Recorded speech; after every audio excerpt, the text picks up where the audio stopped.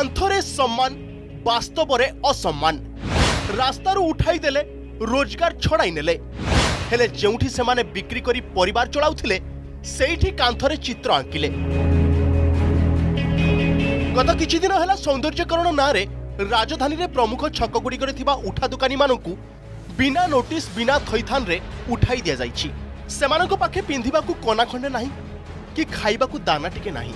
Corona କାଳରେ ନିଜ ନିଜ ରୋଜଗାର ହରାଇବା ପରେ ରାସ୍ତା କଡ଼ରେ ଖଣ୍ଡେ ଦୋକାନ ପକାଇ ତାଙ୍କ ଗୁଜୁରାଣ ମେଣ୍ଟାଉଥିଲେ। କିନ୍ତୁ ବିଏମ୍ସି ଏବଂ ବିଡିଏର ବୈମାତୃକ ମନୋଭାବ ଯୋଗୁଁ ଏବେ ଦିନକୁ ଦୁଇ ଓଳି ଖାଦ୍ୟ ସଂଗ୍ରହ କରିବାରେ ମଧ୍ୟ ଅସମର୍ଥ ହେଉଛନ୍ତି ଉଠା ଦୋକାନୀ। ଯଦି ହକି ବିଶ୍ୱକପ୍ ପାଇଁ ଷାଠିଏ ହଜାର ଲୋକ ଖାଇବା ପାଇଁ ବା ତାଙ୍କ ଦାନା କନା ପାଇଲେନି ବା ତାଙ୍କ ସଂସାର ଉଜିଡ଼ିଗଲା ବା ତାଙ୍କ ପିଲାଛୁଆ ପାଠ ପଢ଼ି ପାଇଲେନି ସ୍ତ୍ରୀ ଖଣ୍ଡେ ଭଲ ପିନ୍ଧିବାକୁ ପାଇଲାନି ଏବଂ ତାଙ୍କର ବନ୍ଧୁବାନ୍ଧବକୁ ଚଳିବା ପାଇଁ ବାପା ମାଆକୁ ଔଷଧ ଦେବା ପାଇଁ ଯେଉଁମାନେ ପାଇଲେନି ଯଦି ଷାଠିଏ ହଜାର ଲୋକ ଆଧିରେ ଆଫେକ୍ଟେଡ଼ ହେଲେ ତାହେଲେ ଆଧିରେ ଜମାରୁ ଦୁଇ ହଜାରରୁ ତିନି ହଜାର ଲୋକ ଉପକୃତ ହେଲେ। କ'ଣ? ନା ସେ ପୁଣି ଟେମ୍ପରାରୀ ଉପକୃତ ହେଲେ। ଯେଉଁ ଲେବରମାନେ କାମ କଲେ ସିଏ କିଛି କାମ ପାଇଲେ ଆର୍ଟିଷ୍ଟ ମାନେ କିଛି କାମ ପାଇଲେ ମିସ୍ତ୍ରୀ ମାନେ ଏଇମାନେ କିଛି କାମ ପାଇଲେ।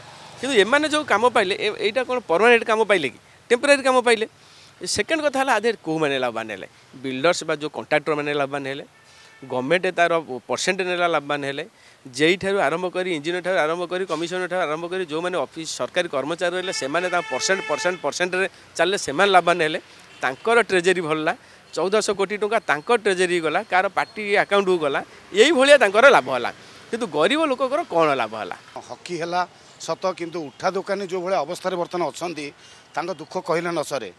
କିଛି ଏମିତି ବ୍ୟବସାୟ ଅଛନ୍ତି ବର୍ତ୍ତମାନ ତା ଖାଇବାକୁ ମଧ୍ୟ ପାଉନାହାନ୍ତି।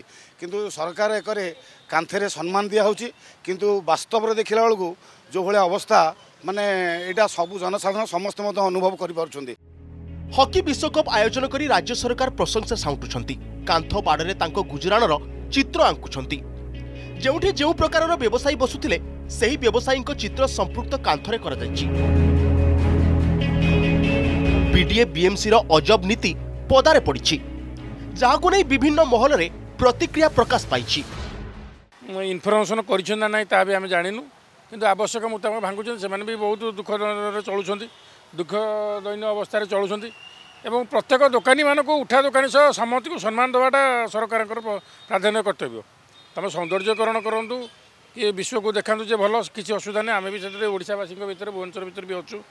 ଅସୁବିଧା କିଛି ନାହିଁ। କିନ୍ତୁ ଗରିବ ଲୋକମାନଙ୍କୁ ବି ଥଇଥାନ କରିବାକୁ ସରକାରଙ୍କୁ ବିନୀତ ଅନୁରୋଧ ଆମେ କରୁଛୁ। ତେବେ ଏଭଳି ହୀନ ରାଜନୀତି ନ କରାଯାଉ ଉଠା ଦୋକାନୀଙ୍କୁ ଥଇଥାନ ପାଇଁ ଦାବି କରାଯାଇଛି।